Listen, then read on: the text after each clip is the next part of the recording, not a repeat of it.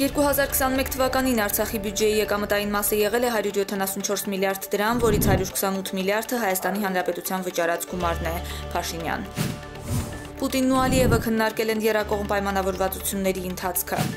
Հայաստանը եւ Վրաստանը շահագրգռված են տարածաշրջանում կայուն խաղաղության հաստատմամբ, Վահագն Խաչատուրյանը Վրաստանի խորհրդարանում։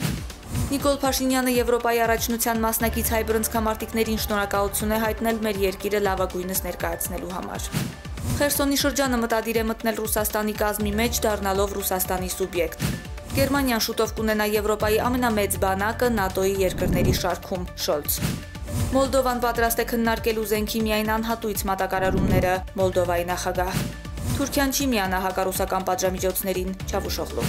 Եվրամիությունը համաձայնության է հասել հակառուսական պատժամիջոցների 6-րդ փաթեթի շուրջ բորել։ Զելենսկին քննադատել է Եվրամիությանը Ռուսաստանի դեմ պատժամիջոցների 6-րդ փաթեթն ուշացնելու համար։